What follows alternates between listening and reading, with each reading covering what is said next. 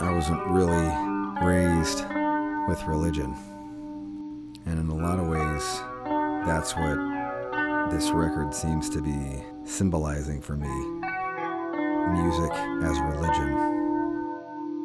Music as the thing that's carried me through the darkest chapters of my life.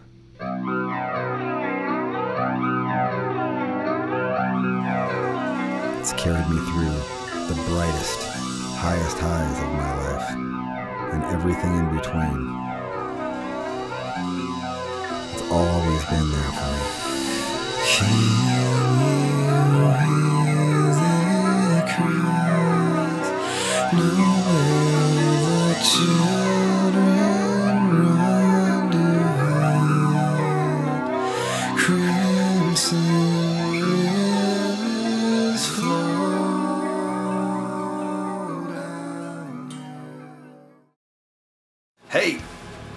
how's it going? Kicking it in the new jam room that we got about, uh, I don't know, I guess maybe at the beginning of last year we got it. But you haven't seen it. So here we are. New room, we're super stoked. We got some Inspirato in here is what we were going for. We wanted to make it like the Inspirato jam room where we just have all of our favorite bands and the bands that meant something and helped create what we became. Got Pink Floyd The Wall, got Iron Maiden, we got our Sabbath, we got the Gods, Judas Priest, got Jimmy, gotta have the Randy. And then we got Kiss. McClain and fucking Phil Demmel love Kiss. And this is this is Zach Galifianakis, and he's there just because, like, if that guy can do it, everyone can do it. Anything is possible. Like he is total wild card inspiration. This is the summer summer official titles and summer obviously unofficial titles. Expectations. Uh, there's always high expectations. I mean, we don't spit a record out that often, so there's a lot that goes into this. We expect a lot out of ourselves. We expect everything that we can possibly put in put into a record. So we're uh, we're reaching deep, and but we've grown a lot in the past five years as well as musicians, as friends, as bandmates, and just as people in general. So I think that uh, there's a lot of emotion getting poured into this, and just a lot of creativity too. So don't expect the blackening too. You know, it's gonna be. I don't know. We're we're putting everything that we have into this one, but we do that on every record. You know, it's gonna be heavy but melodic too. You know, it's gonna be the heaviest thing we've ever done. You know, I'm gonna stay away from all the, you know, the quotes that you see all the time. It's gonna be, it's gonna be our best effort though, for sure.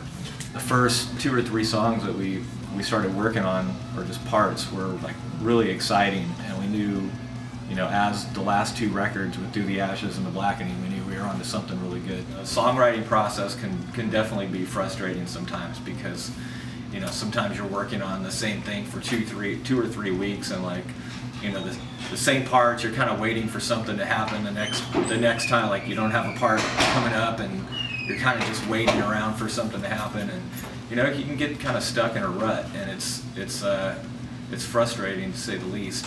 So at, at this point where we're at now as far as like demoing everything and you know we've it's that's when that's kind of when everything just starts starts flowing and whether it's by accident or, or on purpose or whatever like things just start happening. So um, you know and then it, it's you know doing this right now like demoing definitely gets you gets you excited for getting into the studio and, and by that time we're, we're pretty well prepared you know and I mean after you know demoing things a few times and just you know everything else you kind of just kind of chomping and ready to ready to start recording We were looking at recording at a couple of different places in um, in Oakland, but it turns out that we're going to end up doing everything over at Jingletown. Right now in the recording process, we're um, in, we just finished demoing some stuff, putting out music for as many years as we have. We always have to kind of make it new and fresh and interesting for us. And we always look for that thing that makes it machine head, that gives you that feeling. That and uh, the feeling that you get from a machine head record is nothing if not motivating. You know, I mean, that's what we do. That's our that's our niche. You know, um, so that's I mean that's enough motivation just to just to just to be in here making music. When that finally gets there, it's so